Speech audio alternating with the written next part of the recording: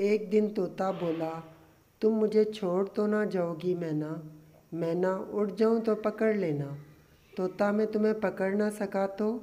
मैना की आँखों में आँसू आ गए और उसने अपने पंख तोड़ दिए और बोली, अब हमेशा हम साथ रहेंगे। एक तेज़ आंधी और तूफ़ान आया। मैना बोली, मैं तोड़ नहीं सकती, तुम उड़ जाओ। तोता ये बोलकर उड़ गया कि अपना ख्याल रखना।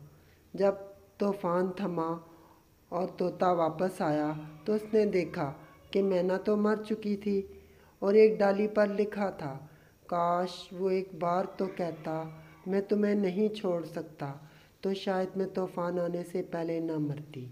मेहरबानी करके इनका ख्याल रखें, जो आपसे प्यार करते हैं। ओके दोस्तों, ओके प्यारे बच्चों, उम्मीद है आप लोगों को कहानी समझ आ गई होगी और आप अपने प्यारों का ख्याल रखेंगे।